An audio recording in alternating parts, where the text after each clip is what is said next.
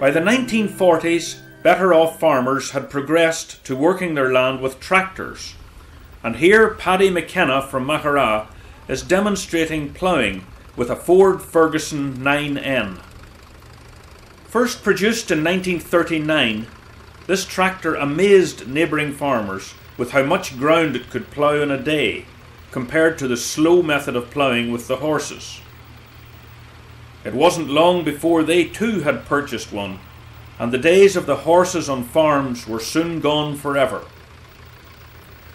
Frank Bigmore is operating with a 1963 Fordson Super Major and a three furrow Ferguson plough.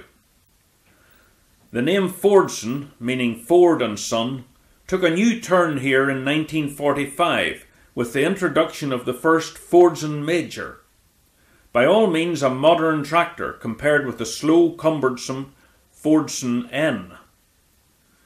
By the late 1940s, the Major was a state of the art, powerful tractor with a four cylinder diesel engine producing 56 horsepower, a high and a low gearbox with six forward and two reverse gears.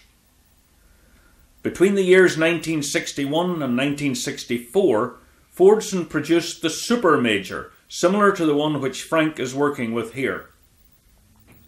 This tractor had a fuel injection system, and the horsepower had now increased to 69.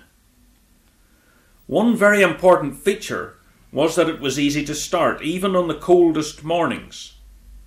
Frank bought this tractor five years ago from Dan McMullen from Rasharkin, and turning over three furrows at a time, he would be quite capable of ploughing six acres in a day. In 1957, the Major got a workmate, the Fordson Dexta, a much smaller tractor and possibly to compete with the Ferguson TE20. By this time, all sorts of labour saving devices were coming onto the market, and farm labourers, like the horses on farms, were becoming a thing of the past. In 1961, the Fordson Super Dexta was launched as a more powerful addition to the Dexta range. Power output from the three cylinder diesel engine was 39.5 horsepower.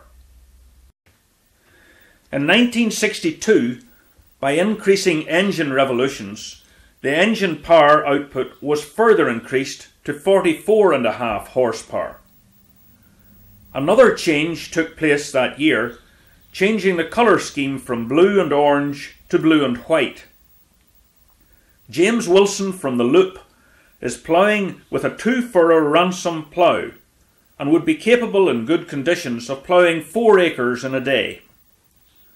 James bought this tractor from local man Edward Mains. One great benefit that the Dextas had over the TE20s was that they were fast along the road, capable of 25 miles an hour. By the end of March, and with a good spell of dry, fine weather, the men are making the final preparations for sowing the oats crop.